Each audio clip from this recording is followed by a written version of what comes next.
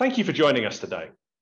We're thrilled to present data from our phase I SURPASS trial with ADP-A2M4CD8, our next generation T-cell therapy targeting MAGE-A4 in multiple solid tumors, demonstrating some of the progress that we've made in our 2252 plan.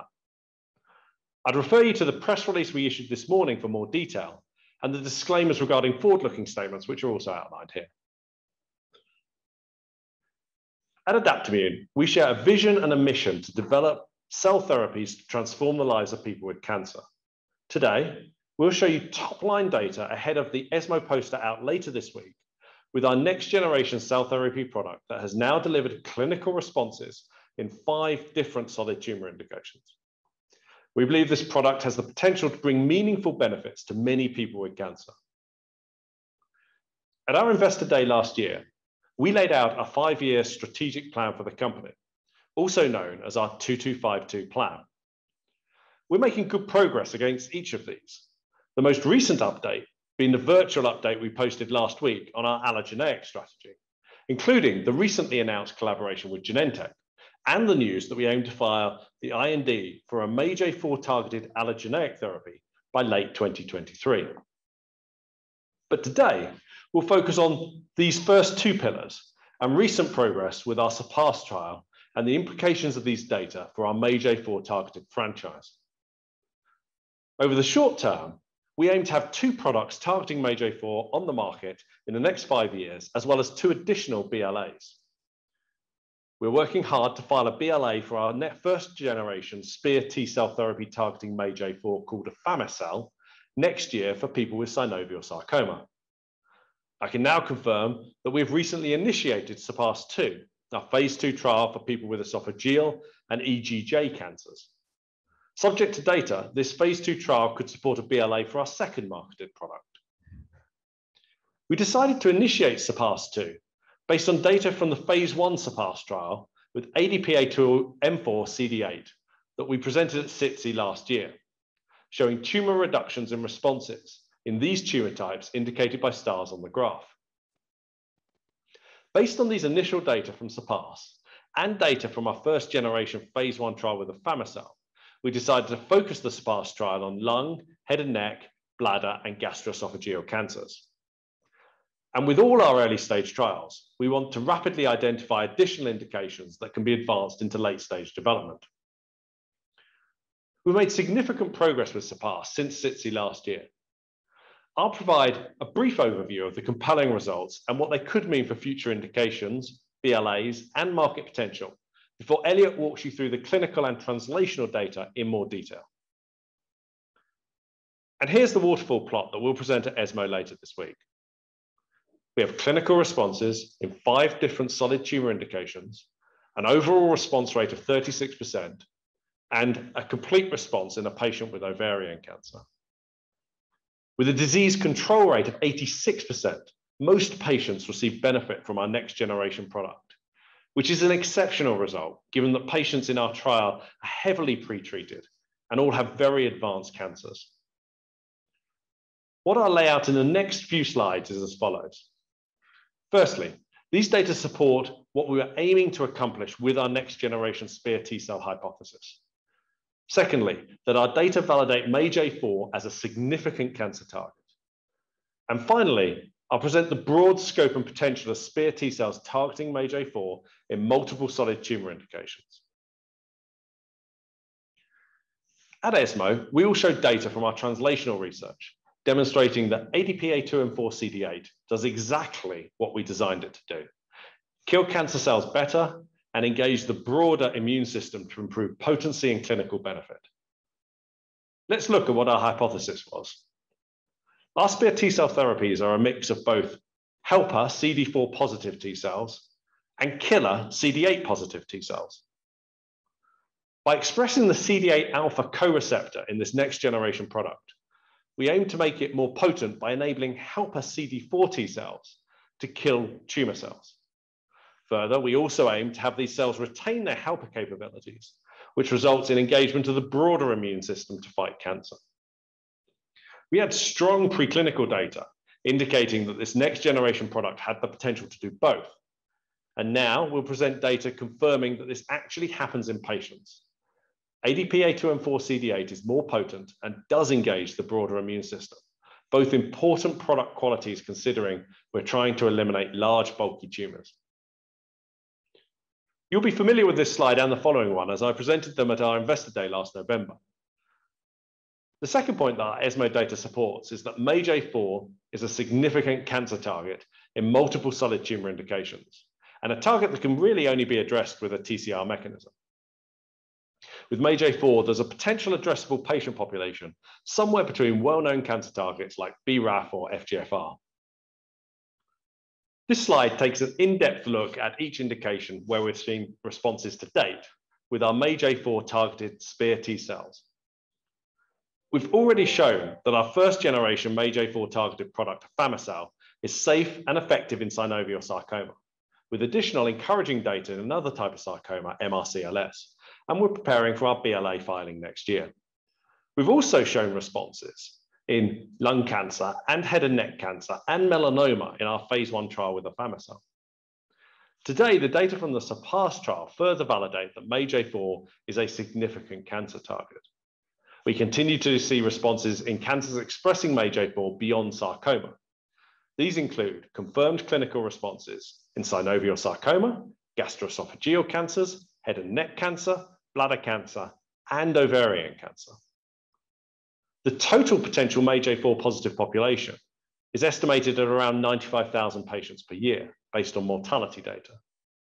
Of those, we estimate around 40,000 also express HLA A02. Because these data are based on mortality data, we believe these numbers are fairly conservative. That would increase as we're able to move up the line of treatment and develop further therapies. This is only the beginning for our wholly owned MAGE-A4 franchise, and we're working on further next-gen approaches, broader HLA candidates, and of course, all these assets can ultimately be used in our off-the-shelf or allogeneic program. In fact, we announced that we intend a MAGE-A4 targeted therapy to be our first allogeneic product in the clinic. I'm thrilled with the data from the SURPASS trial.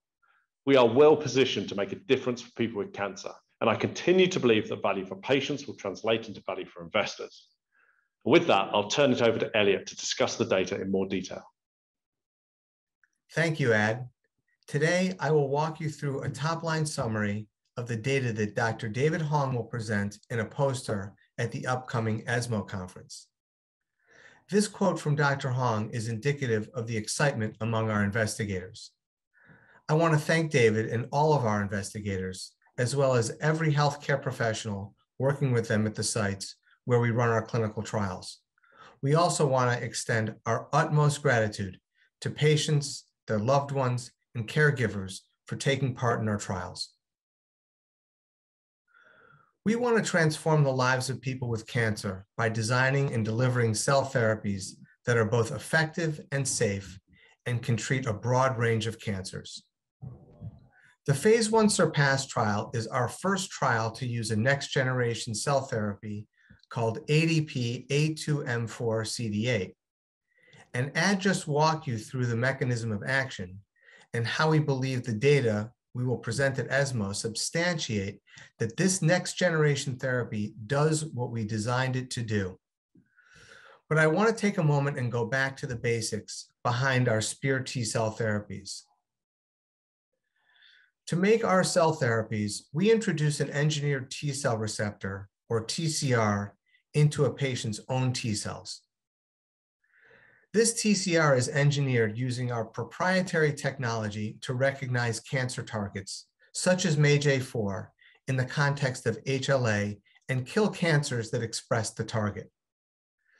The first-generation MAGE-A4 targeted product, afami-cel, and our next-gen product both express the same engineered TCR against MAGE-A4.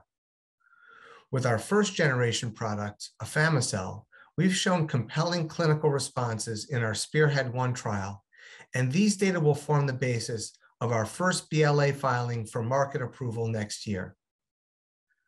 The phase I afami-cel trial also showed some clinical responses and anti-tumor activity in other solid tumors, as Ad just illustrated. However, We wanted to see more responses outside of sarcoma. And to that end, we designed what we intended to be a more potent next generation MAGE-A4 targeted product, ADP A2M4CD8. The CD4 helper T cells and the CD8 killer T cells in this product, as Ad also explained, are both important to get an effective immune response against cancer. However, the helper T cells in our first generation therapy, afami-cel, did not effectively kill tumor cells, but they do provide important help to support the immune reaction by engaging the broader immune system, such as dendritic cells, and by producing inflammatory cytokines like IL-2 and interferon gamma. This next generation product, ADP A2M4CD8, expresses the same MAGE-A4 targeted TCR as afami-cel, along with a CD8 alpha co-receptor, which is intended to increase potency. When we co-express CD8 alpha along with our MAGE-A4 targeted TCR, we enable CD4 helper T cells to kill tumor cells and still maintain their helper function, producing signals needed to encourage a robust immune response against cancer. The data at ESMO that I will summarize in the next few minutes supports our hypothesis and show that our next generation product does what we designed it to do. SURPASS is a phase one trial with ADP A2M4CD8 for people with multiple solid tumor indications.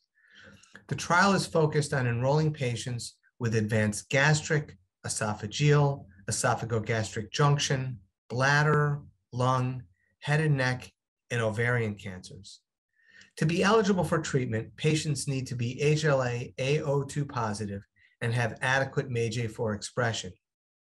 Efficacy is assessed by RECIST criteria, and safety is monitored throughout the trial. Patients in the SURPASS trial are heavily pretreated and have late-stage disease. They receive a range of cell doses from 1 to approximately 10 billion transduced cells. These are best overall response data for the 22 patients in the SURPASS trial who had at least one evaluable scan at the time of the data cutoff.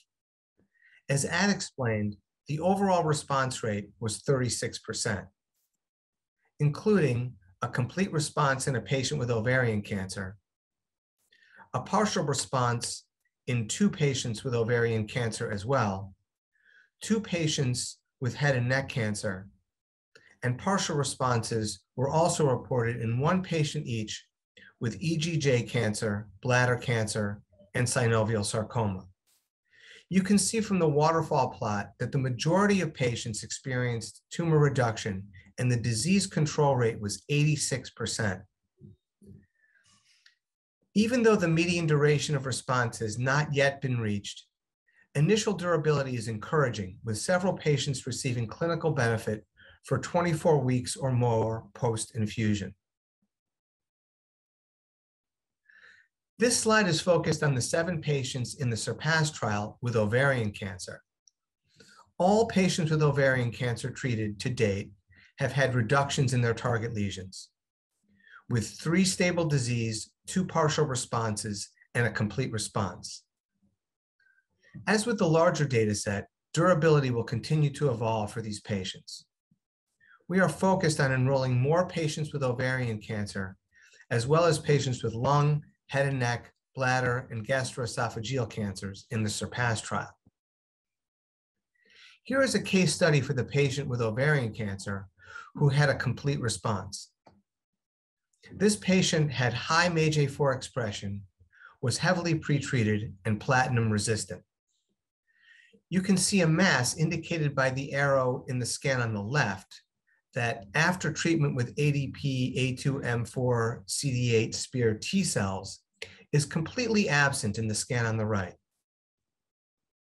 This is an incredible response and shows the power of our cell therapy to address difficult to treat cancers. As of the ESMO cutoff date, this patient remains well and the complete response remains ongoing. These figures show data from patients with EGJ and esophageal cancers. Based on early data we presented last year, we decided to start a phase two trial, SURPASS-2, in these indications, which I am pleased to announce has now initiated.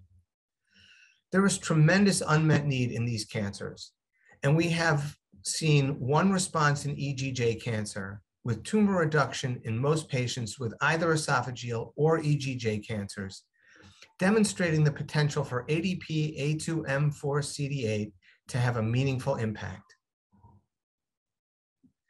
To make the best cell therapies for people with cancer, we need to understand how our products work.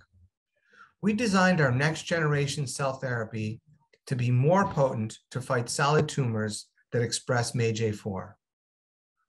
Our preclinical data indicated that adding CD8 alpha enabled CD4 helper T cells to kill tumor cells in vitro and also become super helper cells, producing more inflammatory cytokines than the first gen T cells to support a more robust and broader immune response. Dr. Hong will present data at ESMO from in vitro killing assays comparing manufactured patient products from our first generation MAGE-A4 SPEAR T cells with patient products used in the SURPASS trial. With these data, we demonstrate that the next generation helper cells with the CD8 alpha co-receptor kill tumor cells more effectively than first gen CD4 helper cells. Further, cytokine analyses from patients' serum samples indicate that the next gen helper T cells are more effective at supporting a broader immune response. We also present data in the poster that demonstrate a higher level of IL-12 in patients' serum who received the next generation product compared to the first gen. Because IL-12 is produced by dendritic cells and is not known to be produced by T cells, it's a very good indicator of a broader immune cell engagement. This slide outlines the safety experience in the SURPASS trial as of the data cutoff. The most common adverse event related to T cells was cytokine release syndrome, or CRS, which occurred in 72% of patients, with 16% being grade 3 or greater. 16% of patients experienced immune effector cell associated neurotoxicity syndrome, or ICANS, related to T cells, another AE of special interest. There were eight serious AEs of CRS and three of ICANS related to T cells. And unfortunately, one patient experienced a fatal SAE of pancytopenia. Overall, this is an acceptable safety profile. I believe these initial data are very encouraging. We've seen meaningful responses across multiple tumor types, and this next generation product has generally been well tolerated. These data demonstrate that ADP A2M4CD8 does what it was designed to do, produce a more potent anti-tumor response and better CD4 help when compared to our first generation products. Safety and efficacy, including duration of response, will continue to be evaluated in this ongoing trial, which is enrolling eligible patients with gastroesophageal, head and neck, lung, bladder, and ovarian cancers. We've recently initiated a phase two trial, SURPASS-2, for people with esophageal and EGJ cancers. We remain committed to making cell therapies that can address a broad range of solid tumors and aim to identify additional indications for late phase development from this and other signal finding trials. Thank you to everyone for your attention, and we look forward to updating data in due course.